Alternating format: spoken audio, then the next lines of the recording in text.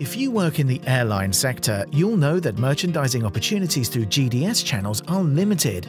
IATA's NDC standard now offers the opportunity to access and analyze customer data from these new distribution channels in much the same way as you analyze traffic on your own direct website today.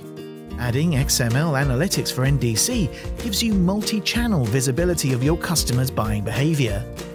This translates into more merchandising opportunities and means you can deliver the right product at the right time to the right person. So, how are you going to get the insight you need without disrupting your business? Triometric's analytics solution can help.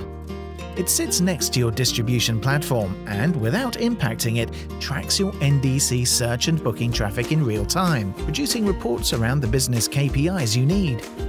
With clear dashboards and reports, it is easy to use and provides you with all the information you need to make informed choices across your business.